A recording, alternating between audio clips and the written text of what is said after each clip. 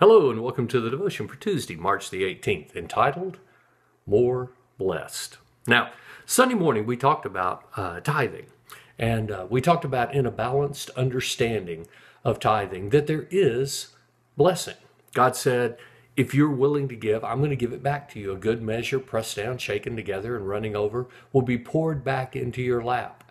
And there were several other passages.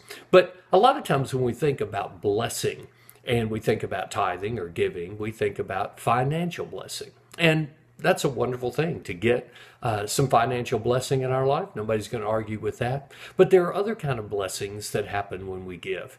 And this passage in Acts 20 highlights that truth. In Acts 20 35, it says, In everything that I did, I showed you that by this kind of hard work, we must keep helping the weak remembering the, wor- the words of the Lord Jesus himself, who said, It is more blessed to give than to receive.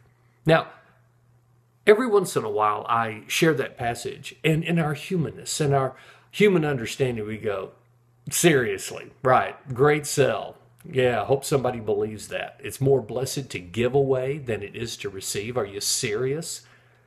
And yet, over and over, I find that I get more joy out of giving things to my kids than anything they're going to give me. I get more pleasure out of helping another person than I do in just getting another toy for myself. All toys tend to only bless for a very short amount of time. And then we get used to them or they get old or they corrode, like Jesus said. Things that we store up on earth, they moth and rust eat them, they corrode and they disappear. That incredible car that I just loved when it was brand new, when it's 10 years old, is just transportation. Now, it's very interesting. In the book, Stumbling on Happiness, they did a lot of neurological testing on people to see how they reacted and what truly satisfied, what really brought real, genuine satisfaction in their life. And one of the studies they gave was on uh, giving away.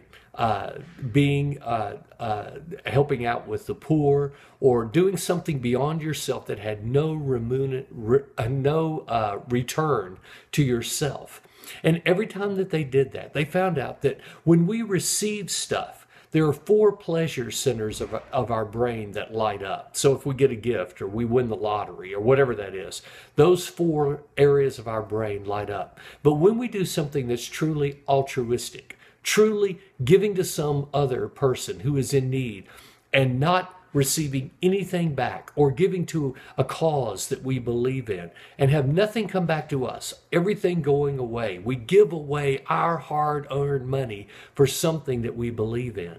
They found that five centers, not just the normal four, but an additional center lit up five pleasure centers as opposed to four pleasure centers. And here's what's crazy two years later, they would ask them about the event of getting a brand, that brand new car, and none of the pleasure centers lit up. But when they asked them about that way that they helped that crippled child, or the giving uh, to make a difference in Cambodia, all five of the pleasure centers would light up as they retold the story of that event in the same way they did two years before. What they found out is what Scripture said all along it is more blessed to give than it is to receive. Scientifically, our body reacts to giving in a way that blesses others, in a way that it doesn't react even when we receive ourselves. How do we use that knowledge? Maybe we can stumble on happiness. Maybe we can honor God's word. Maybe we can make a difference. Let's pray. Father, Lord, as we read this passage, it is more blessed to give than to receive. It is something that financially doesn't roll back to us, but the reward is even greater than getting stuff. Lord, help us to lay hold of that truth. Let us apply it to our lives, and let us be truly fulfilled.